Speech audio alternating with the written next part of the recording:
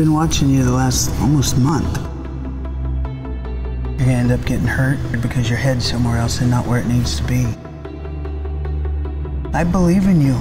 You gotta believe in you. That's what matters.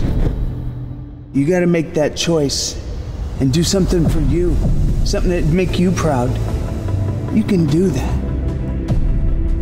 You just gotta break that little piece that's holding you back.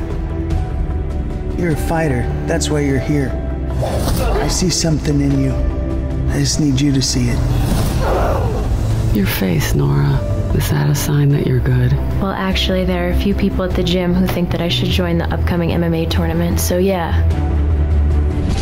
I got fired today. For what? For fighting. The f***'s going on with you? Can't stop thinking about you. I really have nothing else I can give you. Why does it always have to be a fight with you, Nora? Because everything is a fight. Maybe you shouldn't do this. It'll be weird if you die before I do. Life is a fight, maybe, Nora. But you don't have to hurt everyone around you.